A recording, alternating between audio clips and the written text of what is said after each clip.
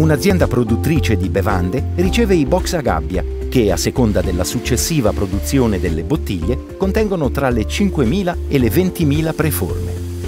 Le preforme vengono prima pulite e successivamente scaldate. A una temperatura di 100 gradi, le preforme diventano perfettamente plasmabili. Nelle forme di soffiatura, le preforme vengono soffiate creando bottiglie.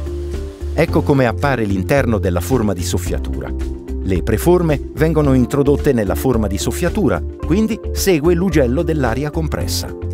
Grazie a un forte getto d'aria della durata di pochi millisecondi, il materiale si espande fino alla parete della forma di soffiatura.